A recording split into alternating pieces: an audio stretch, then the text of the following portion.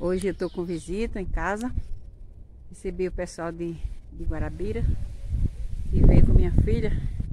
E elas são terapeutas e então nós viemos aqui para pegar umas umas mudas de desse cacto. É, ela vai levar para fazer remédios. Então eu vou mostrar aqui para vocês os cactos que nós temos aqui o tanto que tem e ela vai falar o valor medicinal dessa planta. Aqui tem, tem esse, nós chamamos de chique-chique, de facheiro, de cardeiro, de mandacaru. E aqui tem avelóis, olha o tamanho desse, desse pé de avelóis. E já teve tempo que aqui era uma cerca, toda fechada para avelóis. E eu vou parar um pouquinho aqui porque vem um carro. Maria, vem pra cá. Não, ele vai fazer a volta. Ah, tá. Então esse beco é um pouco estreito, passa carro aqui. Então, quando vem um carro assim, a gente se encosta na cerca. O carro passa. Olha só, esse cacto aqui tá com flor. Esse vai abrir à noite. Essa flor bonita, branca. Tem uns que, que, a, que a flor é de outra cor. Eu ainda não tive a oportunidade de, de mostrar a flor. E Dorinha, essa aqui é a terapeuta, né? Que vai fazer os remédios. Então, ela vai falar aqui para que é que serve esse, essa planta. Diga aí, Dorinha, se é, se é cardeiro, facheiro, mandacaru. Hum.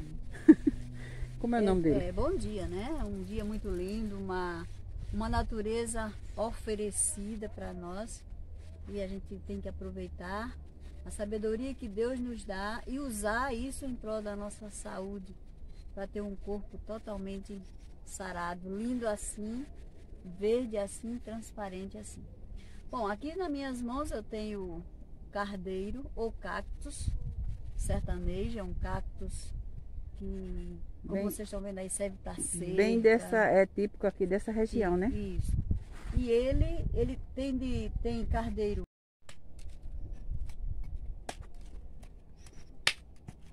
Já? Pronto. Então, ó, esse cardeiro, ou esse cactus, ele é conhecido também pelos animais. E um deles, dos animais, é o macaco, é o saguinho. Quando eles são mordidos por animais peçonhentos, tipo cobra ou ou, ou qualquer um outro animal, eles vêm correndo rapidinho e na raiz do cardeiro eles encontram uma seiva, um suco, e ali eles roem e lambe, tomam aquele remédio e ficam livres do veneno da cobra e outros animais peçonhentos. Isso ensina para nós que quando nós nos alimentamos ou tomamos muitos remédios, ou tem muito estresse, dentro do nosso sangue tem muito veneno. E o cardeiro é o aliado para que a nossa saúde volte. Muito simples, só tomar o chá do cardeiro três vezes ao dia e vai desintoxicando. Limpa a pele, limpa os olhos, limpa o intestino e limpa toda a sua circulação sanguínea. Quer mais, né? A natureza, Deus, a sabedoria está aqui, ó. Tá aqui. E aí nós vamos usar, você que está ouvindo, você que vai aprender, pode usar tranquilamente três vezes ao dia o chá. Valeu! Então, gente, eu vou dar continuidade aqui, depois da aula, né, da minha amiga terapeuta aqui. Então, vamos dar uma caminhada aqui pelo túnel. Olha só, eu já fiz vídeos aqui quando o pessoal estava plantando aqui as roças, mas agora está tudo seco. Estão cuidando também dos roçados, estão limpando para preparar a terra para plantar novamente. Já era para estar tá chovendo, mas aqui esse ano ainda não choveu. E nós estamos aqui esperando, né? Eu não planto, mas o pessoal planta. Também faço parte disso, porque agora eu estou aqui, moro aqui no sítio, né?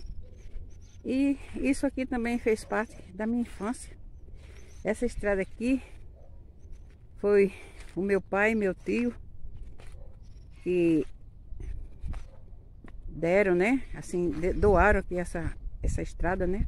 para o povo que mora aqui, da, daquele outro lado ali do sítio passar, porque se fossem rodear, teria que passar por longe.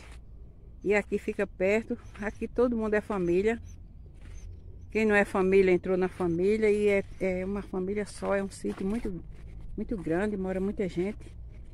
E o pessoal, assim, colabora, né? Uns com os outros. Os que estão se casando vão ficando. E ali vem um carro de um. É todo mundo conhecido aqui. A gente encosta na cerca.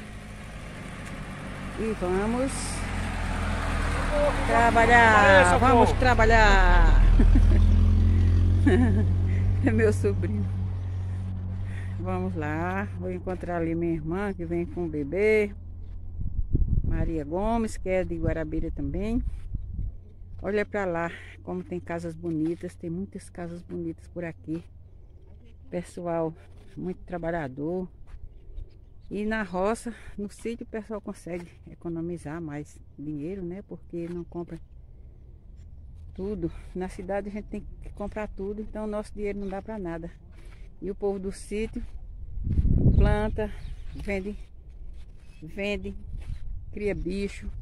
Aí por isso que conseguem fazer, todo mundo consegue fazer a sua casa. As casas de tijolo bonitas, grandes. A qualidade de vida do, do, para as condições financeiras do povo aqui no sítio é bem melhor do que se morasse na cidade. Então, pessoal é, é feliz, né? De morar nesse lugar maravilhoso. Eu estou muito feliz de estar aqui Ainda não consegui desapegar da minha casa em João Pessoa para conseguir vender, mas acredito que daqui a um tempo eu já eu vou convencer a mim mesmo e vou vendê-la e ficar aqui de vez. Terminar os meus dias por aqui, porque é mais sossegado, mais tranquilo. Aqui também acontece muita coisa ruim, mas é diferente da cidade. Que a gente consegue ficar mais tranquilo, consegue dormir mais. E assim, a vida é maravilhosa, sem falar o tanto de plantas medicinais que nós temos ao nosso dispor.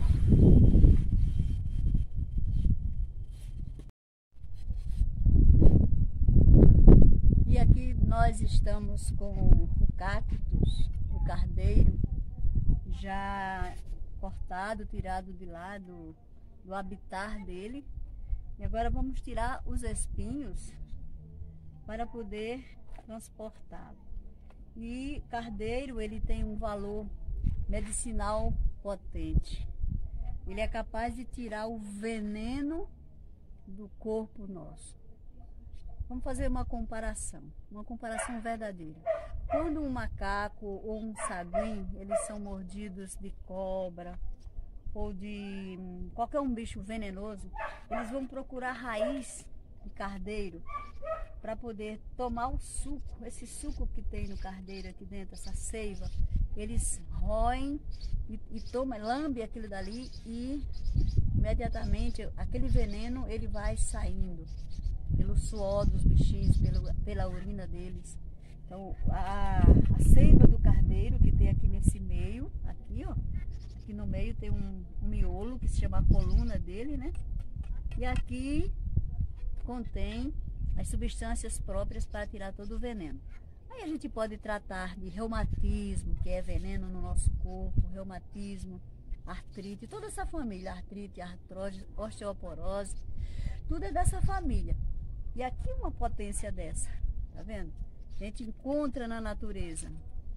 Só que temos que tratar no seguinte, você tem que tirar esses espinhos, igual vou fazer aqui agora, tá vendo? Ó, você vai tirar com muito cuidado, porque o espinho é bem aguçado, ele é bem agressivo e tira todos. Tá vendo? E ao tirar, é que vai tirar os pedacinhos.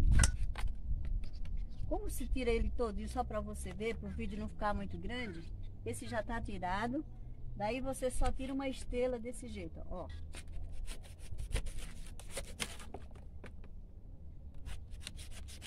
Ele é bem duro de cortar.